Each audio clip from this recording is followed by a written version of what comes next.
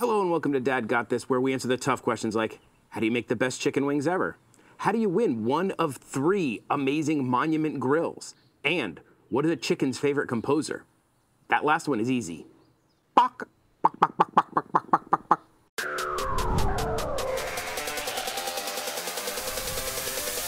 Monument Grills Day is officially August 20th. And to celebrate, they are giving away three Monument Grills, and you can win one of them. Just one. You can't have all three. They're giving away a Denali 605 Pro, just like mine. They're giving away a Mesa 415 BZ and a Mesa 200G. Entering is super easy. I'm gonna put everything down in the description so you just have to click and go. You gotta be a subscriber of my channel. You gotta follow Monument Grills. You gotta go on their website and fill out a form. That's it. In honor of Monument Grills Day, I'm gonna cook my favorite thing, I think, to grill chicken wings. Let's head inside, because it's about a billion degrees out here, and go prep our chicken wings. We're going for a spin on a Filipino barbecue recipe that I use for just about everything. We need half a cup of brown sugar. Light, dark, doesn't matter. You need two cups of soda, Sprite, 7-Up. You can even use Coke. It adds a wonderful flavor. Happen to have some Sprite in the house.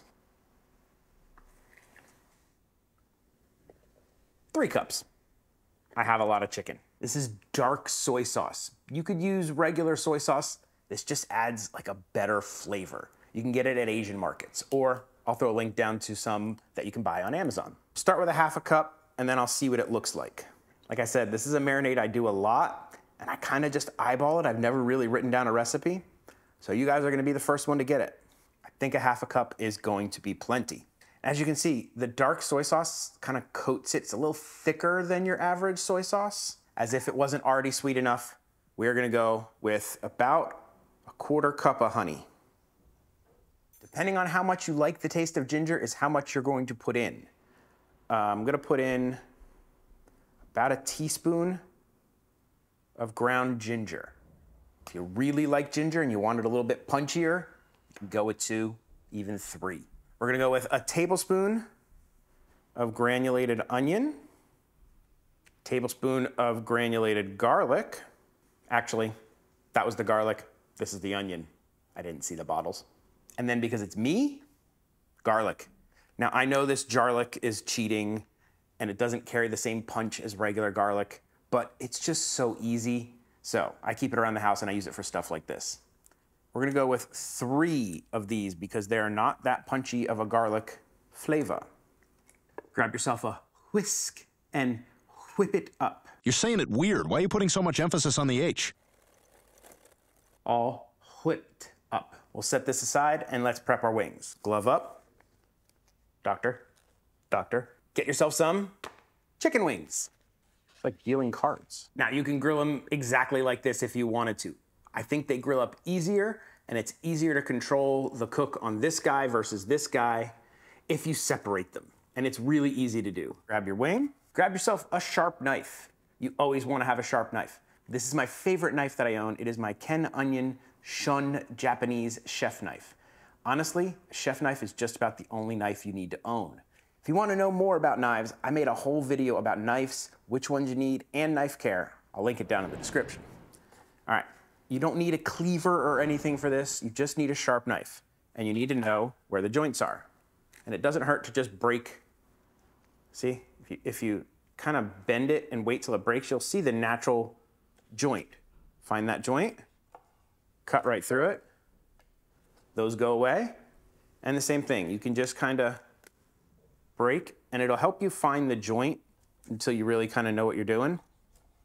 And boom, you have a flap and a drum. Let me know in the comments, are you a flap person or a drum person? I think I'm a drum person. And I'm a drum? And we're just gonna go ahead and do this for everybody.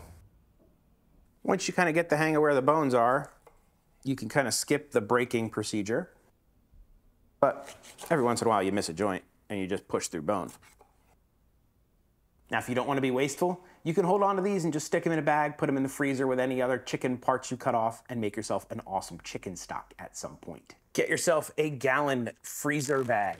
Everybody knows these are just called Ziploc bags, even though they're not the only one who make them.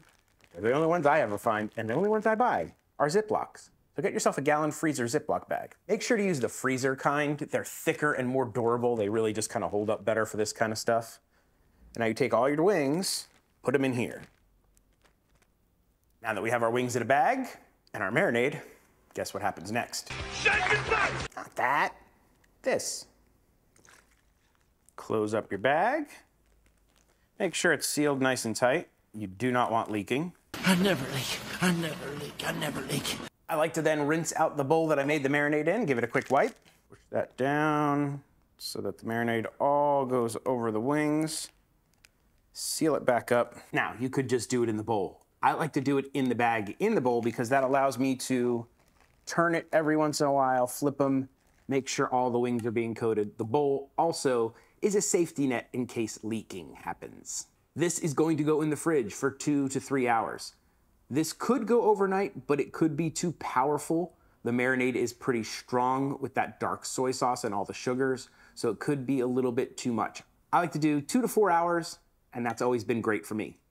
This is gonna go in the fridge, and we'll see you in a couple hours. It's been a few hours. Let's get the grill kicked up.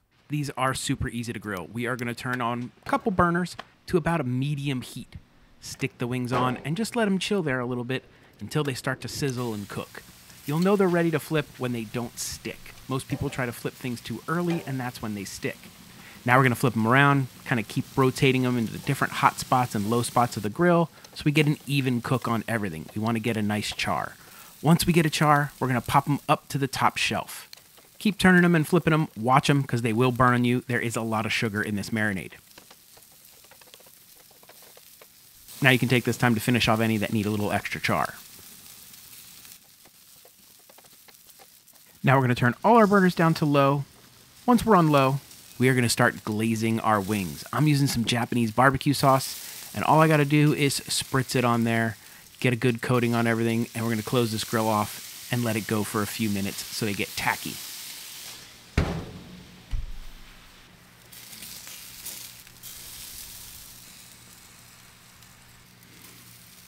If you know me, you know I like to double check temps on food to make sure everything's good, and these wings were pretty much ready to go. Hit them with some more glaze, close it back down, and just look at them. You can see them, they're starting to get nice and sticky and great looking. One more setting of glaze, why not? And now these bad boys are done.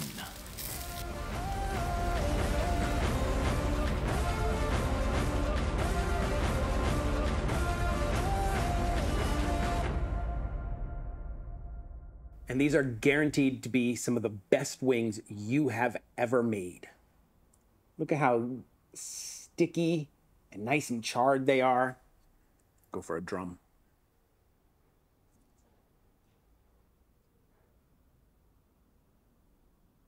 They're sweet, but not too sweet. They still have that savory umami flavor from the dark soy sauce. Man, these are so good. The absolute only problem I have with these wings is not eating the entire thing before I serve them to my family. This Japanese barbecue sauce is amazing. I love this stuff. I'll throw a link to it on Amazon. It's really good. Finger looking good.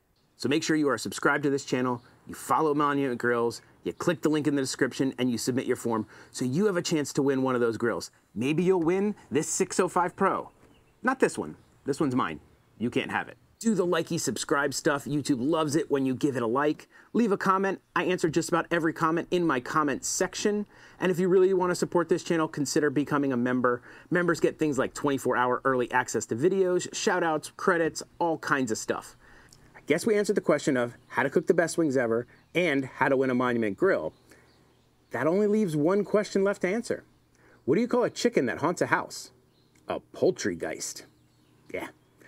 Dad may tell you how to win grills, how to make wings, but one thing Dad will never do is an outro. So that's it. Bye. This episode of Dad Got This was brought to you by our producers. Thank you very much.